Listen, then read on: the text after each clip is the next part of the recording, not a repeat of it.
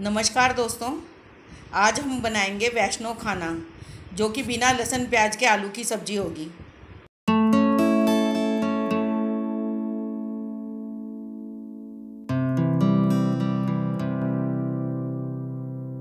ये चार पाँच बड़े आलू हमने लिए एक चम्मच धनिया पाउडर है, सूखी दो तीन लाल मिर्चें हैं और हींग है, एक पिंच।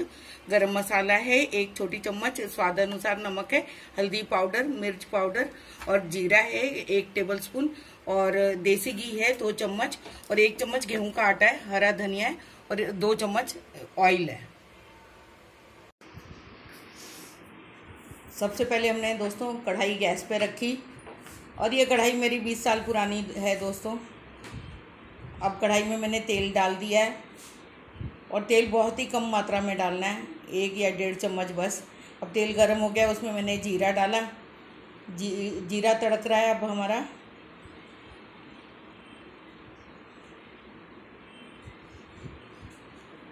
गैस को कम कर दिया, उसमें मैंने टमाटर, हरी मिर्च और अदरक का मैंने पेस्ट बना कर रखा था। वो पेस्ट मैंने डाल दिया है तेल के अंदर, जिसमें जीरा तड़काया था। उसके अंदर मैंने ये पेस्ट डाल दिया। टमाटर, हरी मिर्च और अदरक का। अब इसमें मैंने थोड़ी सी हींग डाली है और ये नमक डाल दिया। हम इसको अच्छे से सब मिक्स करेंगे। और अब मैंने हल्दी पाउडर डाल दिया। हरी मिर्च डाली हुई है बीच में तो इसलिए लाल मिर्च हम कम ही यूज़ करेंगे, वरना ज़्यादा हो जाएगी। अगर आप ज़्यादा खाते हो तो ज़्यादा डालिएगा आप। अब ये मैंने धनिया पाउडर डाल दिया। अब हम अच्छे से इसको मिक्स करेंगे और भूनेंगे इसको। इसका सारा पानी सुखाएँगे।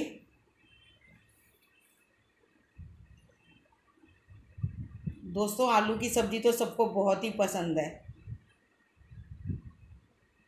और ये बनी भी बहुत अच्छी है। आप देखिए और आप भी इसको खाए बिना रह नहीं पाओगे।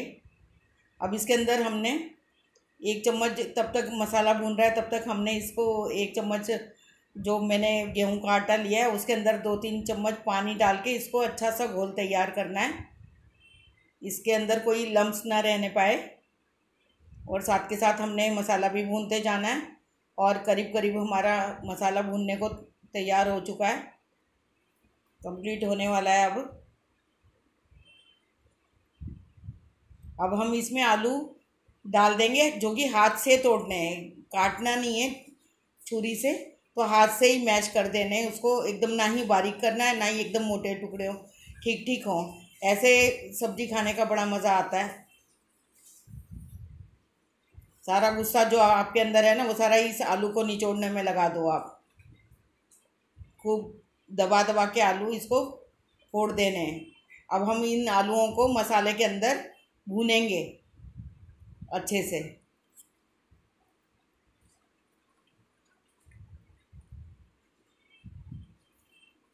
अब मैंने जो ये ग्राइंडर में टमाटर और हरी मिर्च का पेस्ट बनाया था, उसके अंदर थोड़ा सा पानी डाल के वो भी इसके अंदर डाल दिया। और अच्छे से ये टमाटर भून रहे हैं हमारे। और अब हम इसमें डेढ़ से दो ग्लास पानी डालेंगे। अगर चावल के साथ आपने खानी है तो पानी ज़्यादा भी डाल सकते हो आप। वैसे तो आलू की सब्ज़ी पूरी पूरी के साथ बहुत अच्छी लगती है। आलू पूरी बहुत फ़ेमस है।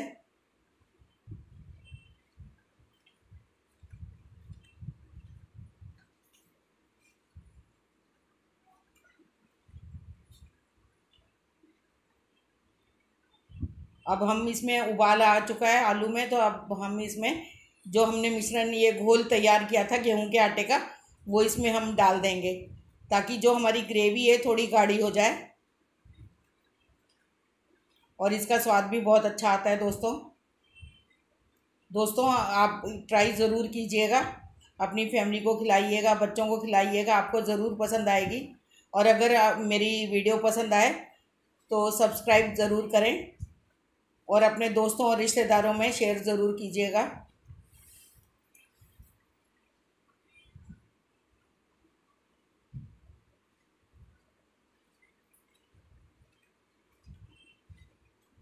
देखो थिक होती जा रही है ना वो सब्ज़ी। जब हमने उसमें गेहूँ का आटा डाला तो ठीक होती जा रही है।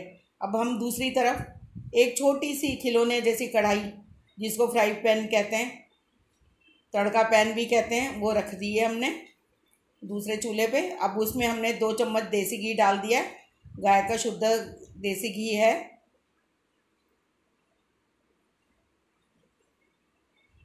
अब हम इसमें थोड़े से दाने, साबुत धनिया के डालेंगे।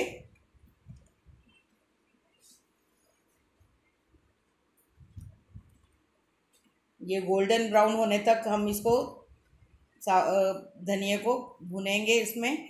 धनिया का टेस्ट बहुत अच्छा आता है दोस्तों तड़के में।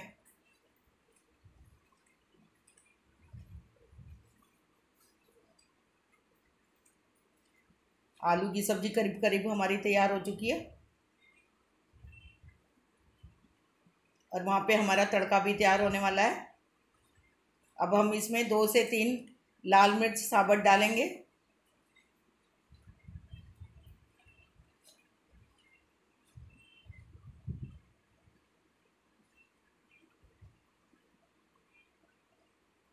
अब गैस की आँच लो, धीमी कर देंगे, ताकि ये जलने ना पाए और घर में सबको खांसी ना छूट जाए। अब हम इस पर सब्ज़ी के ऊपर ये डालेंगे और सारा मिक्स कर देंगे इसको। सब्ज़ी हमारी तैयार हो चुकी है, बिल्कुल खाने के लिए रेडी है। और इस पर अब हम हरा धनिया जो बारीक काट कर रखा हुआ था, उससे गार्निश करेंगे। तो हमारी आलू की सब्ज़ी तैयार हो गई है, दोस्तों। तो आप भी खाइए और सबको खिलाइए।